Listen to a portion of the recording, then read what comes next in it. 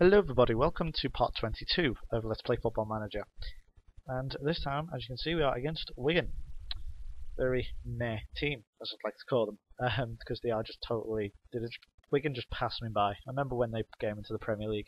I thought, that's nice, you know, this little team, you know, town famed for its rugby, now in the Premier League.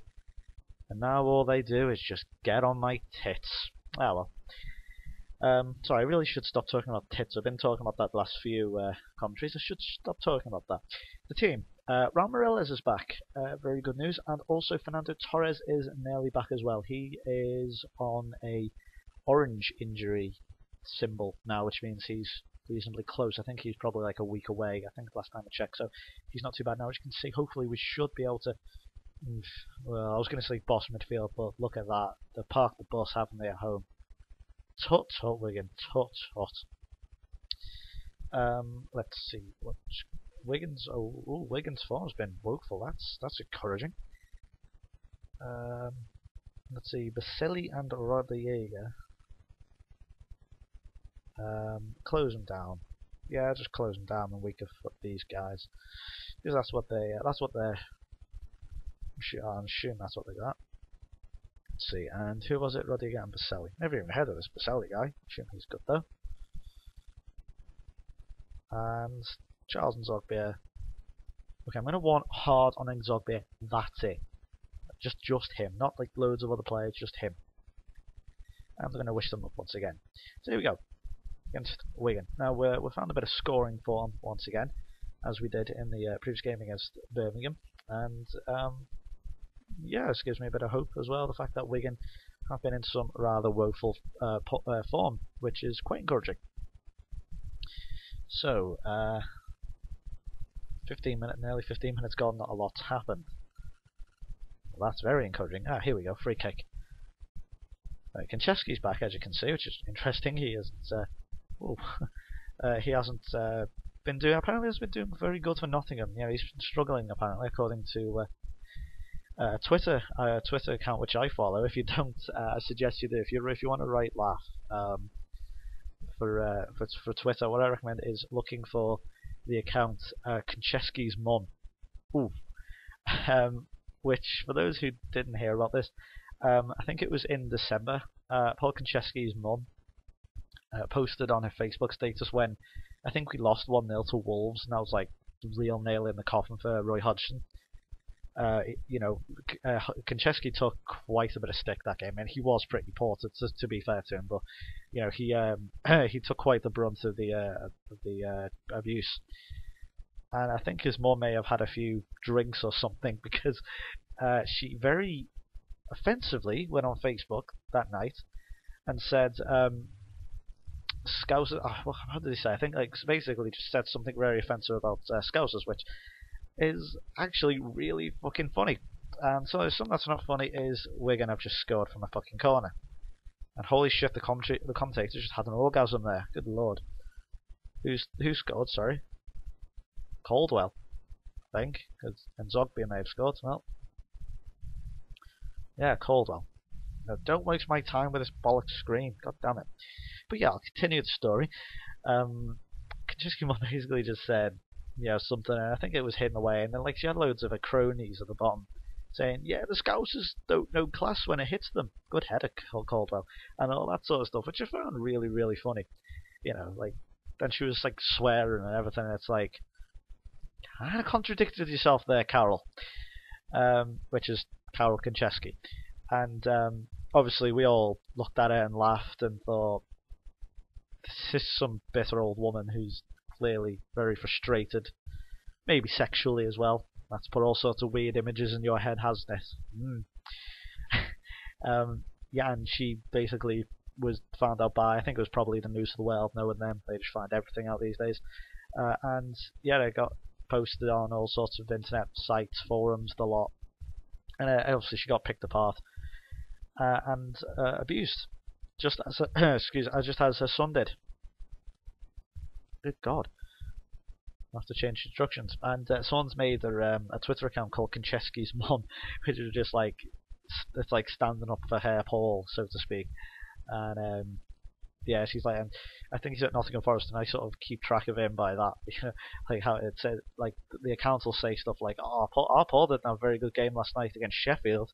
Fucking horrible Sheffield, you know. Yeah, and just like it'll slag off like Sheffield, and then it'll they go to Manchester, like they'll slag off Manchester, but go even like, and then when they go down south, if they go to someone like Fulham, which of course he used to play for, um, Charlton, you know, all those type of things, they were like, ah, back in the south, you know, real, really good country, not like horrible up north and it's pollution and scousers, you know, all this sort of stuff. Um, you know, it's it's really it's really funny. He hasn't got too many followers. Whoa, hasn't got too many. I think he's got like a thousand followers. Speaking of funny football um, ones as well, I think uh, if if you're a West Brom fan, you might like this.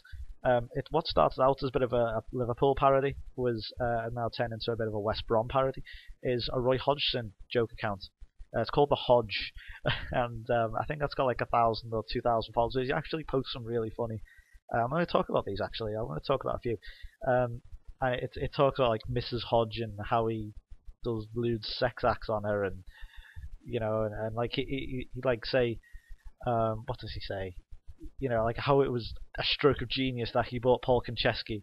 You know, like for example, obviously I know this didn't happen, but um, if he scored, you know, he would say he's, you know, we all know Paul Konchesky's a poor player, but you know, if he if he scored a fluky goal, he'd go on Twitter and be, you know, it'd be all like, um, oh, what a stroke of genius this signing was, you know, that sort of thing. We can't get in at all. Good God Almighty, getting out possessed by Wigan here. I need to sort something out. But you know, it's that kind of thing, and obviously it's West Brom parody now, and um, there's another one which has got quite a bit of. I think if you if you're any football fan, you and you're on Twitter, you'll probably follow this guy. He's called the Big Sam, and it's just basically a Sam Allardyce parody account. Well, it used to be. I think it's because people got offended by it, like Allardyce's people probably got offended by it or something. Um, they've they, they, they suspended it, and uh, now they've had to like sort of censor it. So it's like there's still a picture of Sam Allardyce, but it's like blocked his eyes out. So and, like, and you know, it, it's not re- referencing to other Sams. Oh my God, he's hit the post. Good God. but yeah, he he just posts all sorts of just bizarre stories, like made up stories that you know Sam Allardyce might encounter. You know, he doesn't really talk about football much, but you know, it's still a fucking funny account. Uh, let's see there here. Um, James Pryor's at stake, you bastards. um, what leaves feedback? Yeah, we need to push. Oops. Um, let's see tactics. Let's push more men forward. Um, box to box. No advanced playmaker attack. Yep, you defend. You support. Attack. Our attack.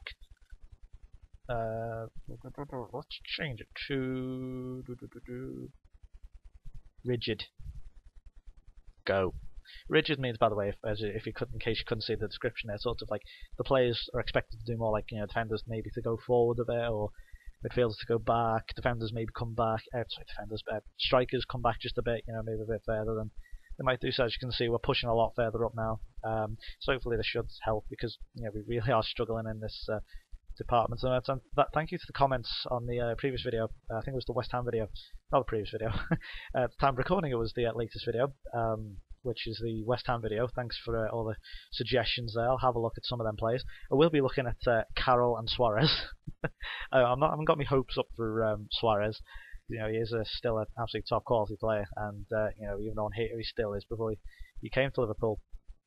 Yeah, we all knew that. And Andy Carroll. Um, I might be able to get away with him mainly because you know he might still be rated at you know like the million pound mark or something as he was at the start of the season before you know he went totally berserk and just scored shit ton of goals. And why is Babel flicking it on to no one? Oh my goodness God! Chris Kirkland, he's done a favour for his old club. I'm not going to deny. Chris, thanks. I've always rated Chris Kirkland as well. I think he has been, he has got to be one of the most unluckiest footballers ever. I think it's just showed there. So that was a bizarre flick on, but an even more bizarre kick from Kirkland.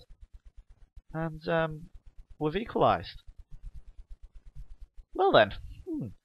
Yeah, so my, my voice is going very high pitched lately as well. I need to stop doing that. don't know if it's because I'm a bit more excitable lately. I don't know what that is. Once again, uh, I think a change of tactics seems to have done the team well. We've at least equalised. I mean, struck fortune by in that, but oh, what a pass that is!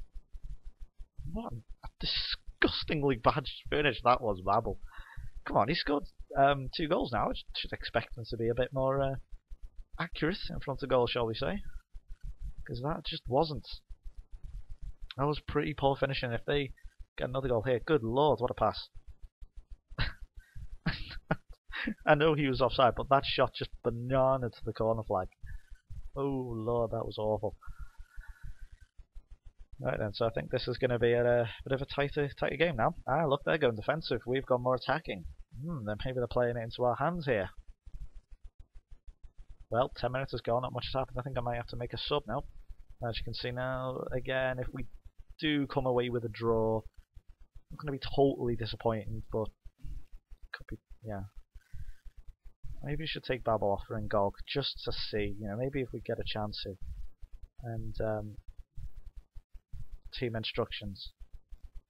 Uh, I'm gonna gonna say attack because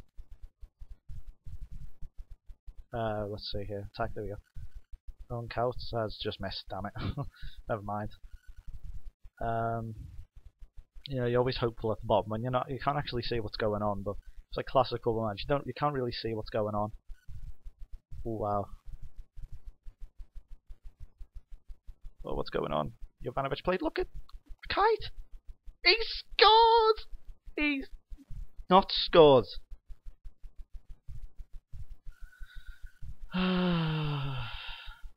Damn. and yes, that was genuine. I did not know he was um, offside. Oh, I'm gutted.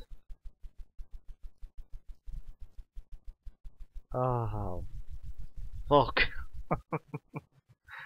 if these snatch a win, thank you. I was gonna say that.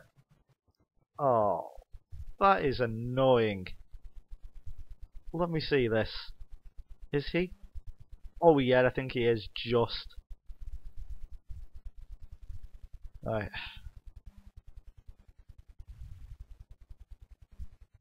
No, I'm going to say sympathy because that was just ridiculous. That was absolutely ridiculous. Anyway, um, so let's have a look at the uh, actually no, we're going to go to the home page because that we can see everything there. And as you can see, we are now eighth due to that absolutely irritating as hell um, thing there. And I think my computer's just made a big noise. Uh, the battery's going to go. Oh well, better get along quick. Um, yep. So that's disappointing. Very very annoying. Um, well, what can you do? Eh? We are currently 8th, as you can see now. We're a point behind Fulham, three points behind Tottenham in 6th. Mm. Oh well, next game against Wolves, we're just going to make sure we stop these games in hand thing. Um, yeah, as you can see, some have played 14, we've only played 12, so not the end of the world yet. Uh, thanks for watching, I'll see you for part 22 versus Wolves. Goodbye.